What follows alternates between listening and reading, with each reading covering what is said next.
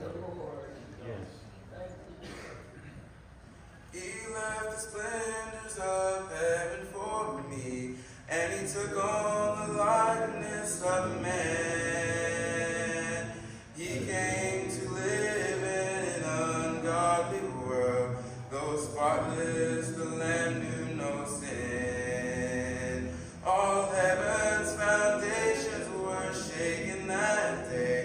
But for changing his mind he could not.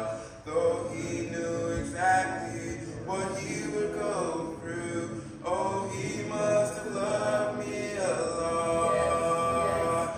And how many tears have I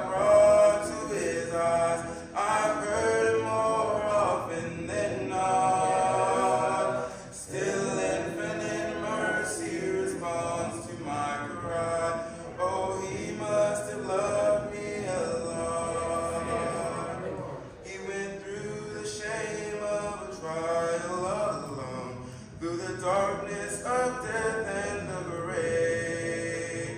He went through the pain of denial and scorn, the outcast and beggars to save. If I